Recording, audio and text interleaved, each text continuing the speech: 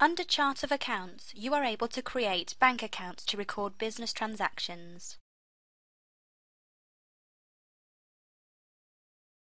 Here you can see bank accounts that have already been created with their current balances.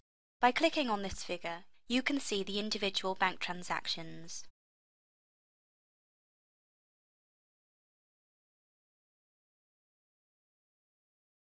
We're also able to create additional bank accounts.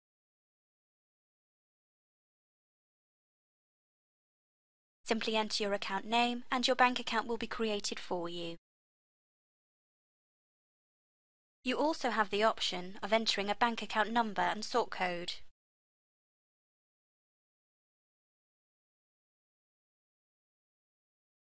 If you would like to enter an opening balance for the bank account, enter the details here and click on Save.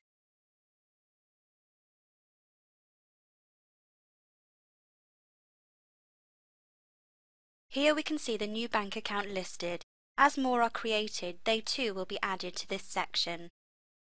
Thank you for watching this tutorial.